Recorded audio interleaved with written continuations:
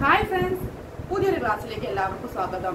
നമ്മൾ ഇന്ന് പഠിക്കാൻ പോകുന്നത് കേരളത്തിലെ നദികളിൽ ഒന്നായ ഭാരതപ്പുഴയെ കുറിച്ചാണ് കേരളത്തിലെ ഏറ്റവും നീളം കൂടിയ രണ്ടാമത്തെ നദി ഭാരതപ്പുഴ ഭാരതപ്പുഴയുടെ നീളം ഇരുന്നൂറ്റി ഒമ്പത് കിലോമീറ്റർ ഭാരതപ്പുഴ ഒഴുകുന്ന ജില്ലകൾ പാലക്കാട് മലപ്പുറം തൃശൂർ മാമാങ്ക വേദിയായിരുന്ന തിരുനാവായ സ്ഥിതി ചെയ്യുന്ന നദി ഭാരതപ്പുഴ ഭാരതപ്പുഴ ഉത്ഭവിക്കുന്നത് എവിടെ വച്ചാണ്? ആനമല. പൊന്നാനി പുഴ എന്നറിയപ്പെടുന്ന നദി ഭാരതപ്പുഴ. കേരളത്തിന്റെ നൈൽ എന്നറിയപ്പെടുന്ന നദി ഭാരതപ്പുഴ. ശോകനാശിനി പുഴ എന്നറിയപ്പെടുന്ന നദി ഭാരതപ്പുഴ. മിനി പമ്പ എന്നറിയപ്പെടുന്നത് ഏത് പുഴയുടെ ഭാഗത്താണ്? ഭാരതപ്പുഴ. ചിറ്റൂരിൽ ഭാരതപ്പുഴ ഏത് പേരിലാണ് അറിയപ്പെടുന്നത്? ശോകനാശിനി പുഴ.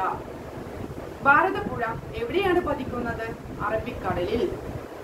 ഭാരതപ്പുഴയുടെ പോഷക നദികൾ തൂതപ്പുഴ കണ്ണാടിപ്പുഴ ഗായത്രി പുഴ കൽപ്പാത്തി പുഴ ഭാരതപ്പുഴ എവിടെ വെച്ചാണ് അറബിക്കടലിൽ പതിക്കുന്നത്?